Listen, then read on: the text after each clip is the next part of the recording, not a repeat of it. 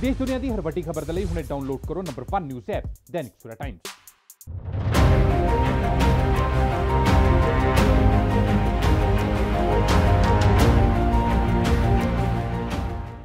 ਭਗਵਾਨ ਵਾਲਮੀਕੀ ਪ੍ਰਗਟ ਦੇ ਸੰਬੰਧ ਵਿੱਚ ਅੱਜ ਅੰਮ੍ਰਿਤਸਰ ਸ਼ਹਿਰ ਭਰ ਵਿੱਚ ਕਈ ਸ਼ੋਭਾ ਯਾਤਰਾ ਕੱਢੀਆਂ ਗਈਆਂ ਨੇ,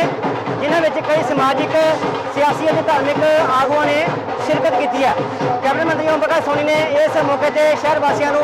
ਭਗਵਾਨ ਵਾਲਮੀਕੀ ਪ੍ਰਗਟੋਤਸਵ ਦੀ ਵਧਾਈ ਵੀ ਦਿੱਤੀ ਹੈ। ਉਹਨਾਂ ਦੇ ਨਾਲ ਸਾਡੇ ਮੈਡਮ ਰਾਜਦੀਪ ਕੌਰ ਜੀ, ਬਾਬਾ ਜੀ, ਵਿਸ਼ਾਲ ਜੀ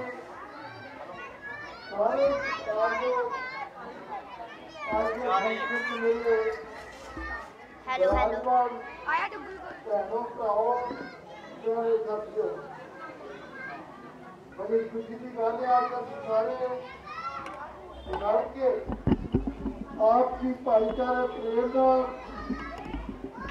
ਭਗਵਾਨ ਵਾਲਮੀਕੀ ਦਾ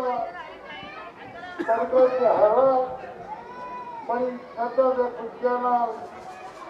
ਮਨਾ ਰਹੇ ਹਾਂ ਸੋ ਅੱਜ ਅਸੀਂ ਹਰ ਸਾਲ ਦੀ ਤਰ੍ਹਾਂ ਹੀ ਸ਼ੋਭਾ ਯਾਤਰਾ ਜਿਹੜੀ ਸਾਰੇ ਸ਼ਹਿਰ ਦੀ ਜਾਰੀ ਹੈ ਸੋ ਸਭ ਤੋਂ ਪਹਿਲਾਂ ਅੱਜ ਦੇ ਸੱਤਰ ਦੇ ਸਾਰਕਾ ਸੰਤਾਂ ਨੂੰ ਸਾਰੀ ਕਮੇਟੀ ਨੂੰ ਸਾਰੇ ਪੰਜਾਬ ਵਾਸੀਆਂ ਨੂੰ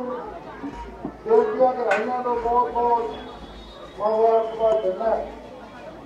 ਸੋ ਸਾਨੂੰ ਇਸ ਗੱਲ ਦੀ ਖੁਸ਼ੀ ਹੈ ਭਗਵਾਨ Valmiki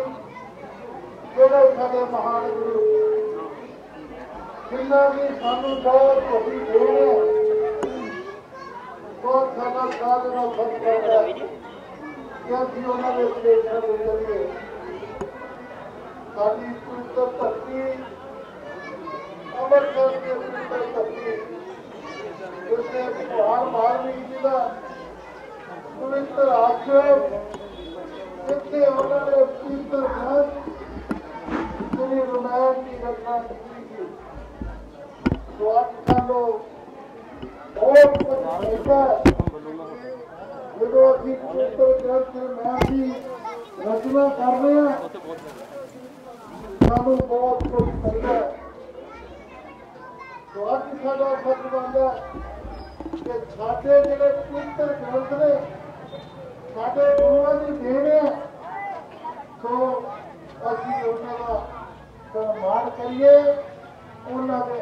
Mukesh Bamna Sikandar ਪ੍ਰਸੀਚਾ Dainik Savera TV. Amritsar. All world open challenge 17 time gold medalist Miyan Rafiq Mohammad पंडित मौलवी बेगम तांत्रिक इन चोरा ठगा तो सावधान स्पेशलिस्ट वशीकरण सट्टा नंबर लव मैरिज पति पत्नी च अनबन विदेश च पक्का होना कारोबार दा ना चलना सिर्फ़ 31 ਘੰਟਿਆਂ ਵਿੱਚ ਸਮਾਧਾਨ free free free Miyan Rafiq Muhammad mobile 8434494647 84374 94648